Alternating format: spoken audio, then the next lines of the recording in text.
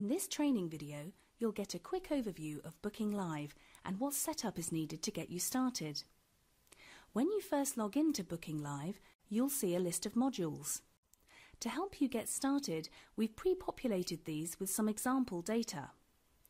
Our training videos are designed to give you an overview. For a step-by-step guide, please visit the user manual at www.bookinglive.com forward slash help.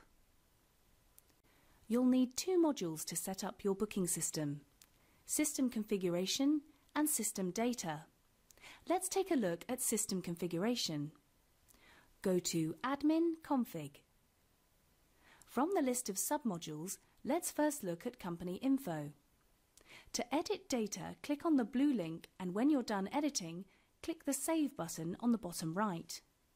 Company info requires basic information about your company and is also where you enter your payment account settings, which you'll need to do before you can take online payments. There is an additional tab for advanced settings, allowing you to change your system's default behavior and integrate with third-party software such as Sage 50, MailChimp and Google Maps. You'll need to configure other modules in system configuration, including locations and messages, but we have separate videos for these.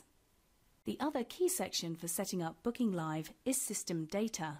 In here, you'll be able to set up activities, schedules, extras, and customer data templates. There are other videos that cover each of these in more detail. Please take a tour around our website, and when you're ready to take advantage of Booking Live, simply sign up online or give us a call.